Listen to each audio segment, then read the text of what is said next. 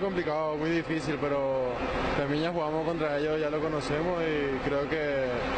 eh, vamos a salir a jugar de igual a igual, a igual, a igual y ojalá se dé el resultado. Y, y lo enfrentamos, que es un rival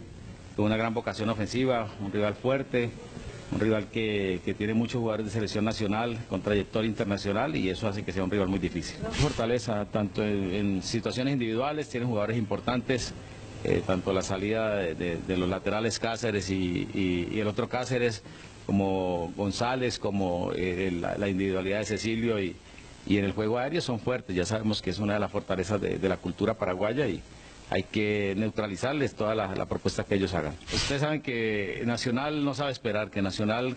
siempre tiene esa tendencia a buscar los partidos y más en calidad de local por todo lo que significa el compromiso que tenemos con nosotros mismos, con nuestra afición. Y, bueno, hay que leer, hacer una buena lectura, el rival puede proponer eh, eh, o salir a presionarnos o salir a esperarnos, hay que hacer una buena, un buen reconocimiento de esa propuesta y de acuerdo a ello tomar las decisiones.